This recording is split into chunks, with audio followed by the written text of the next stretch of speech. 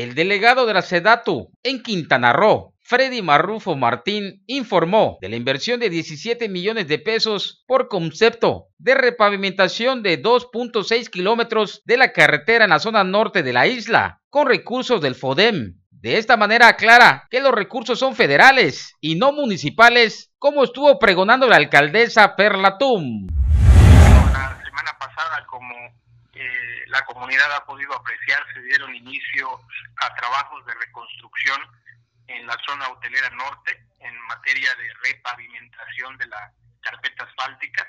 Esto, pues bueno, pues es un tramo que va desde Serena hasta el kilómetro 2.6 eh, de esa carretera eh, costera norte eh, en ambos sentidos, es decir, de sur a norte y de norte a sur, incluyendo los retornos. Se pretende precisamente pues trabajar para poder hacer la reconstrucción la carpeta asfáltica que sabemos que bueno pues tiene un daño considerable y que por supuesto necesita su rehabilitación.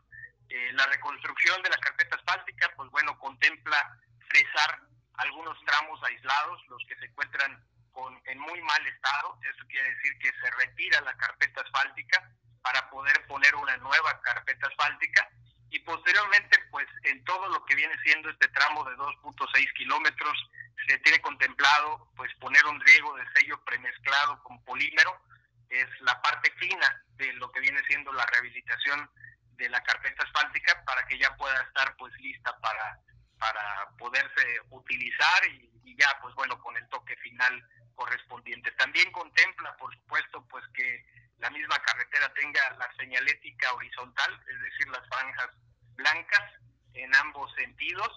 Y bueno, pues esta es una inversión de alrededor de 17 millones de pesos. Para Canal 10, Jorge Q. Imágenes, Benjamín Carrillo.